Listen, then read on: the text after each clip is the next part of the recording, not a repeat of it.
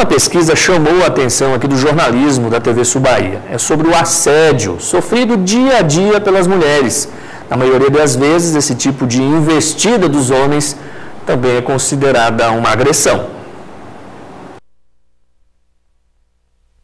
Comentários de cunho sexual, olhares insistentes. Se você é mulher, é quase certeza de que já passou por algum tipo de assédio. Essa tendência foi confirmada por uma organização internacional que mostra que 86% das mulheres brasileiras já sofreram assédio. Segundo o resultado da pesquisa, o assédio em espaços públicos é um problema mundial já que na Tailândia o resultado também foi de 86%, na Índia de 79% e na Inglaterra de 75%. No Brasil, entre as formas de assédio sofridas pelas mulheres, o assobio é o mais comum, citado por 77% das entrevistadas. Os olhares insistentes aparecem em 74% das respostas e os comentários de cunho sexual em 57%. Fica sem graça, né? É desconfortante você passar e alguém ficar mexendo. Só porque tá com uma roupa curta, ele se sente num, num, num direito de falar, de de mexer brutalmente. Metade das entrevistadas da pesquisa citaram ainda que já foram seguidas na rua e 44% tiveram seus corpos tocados.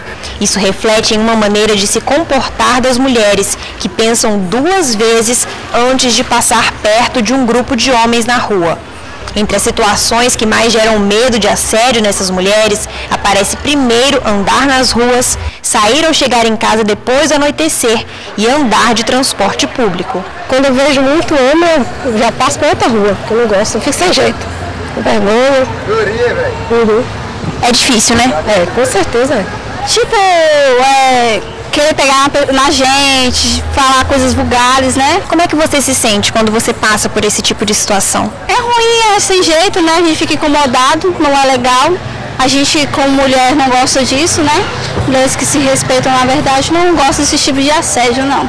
Há quem deixe de vestir determinada roupa com medo de sofrer assédio. Não gosto de roupa curta, isso chama muita atenção dos homens, né? Então eu evito muito usar roupas mais chamativas. Você já deixou de usar alguma roupa, passar por algum lugar com medo de que isso acontecesse com você? Sim, com certeza. Sempre tem, né? Porque a gente fica com medo, né? De, sei lá, alguns lugares que é escuro mesmo, eu evito, porque eu tenho muito medo. Mas muitas mulheres já entendem que essa é uma questão de gênero que aponta a desigualdade entre homens e mulheres. E assim, não se deixam reprimir. Nunca vou deixar de usar nada que eu gosto por causa dos outros. Se eu estou me sentindo bem daquele jeito, é aquele jeito que eu vou usar. O problema é eles.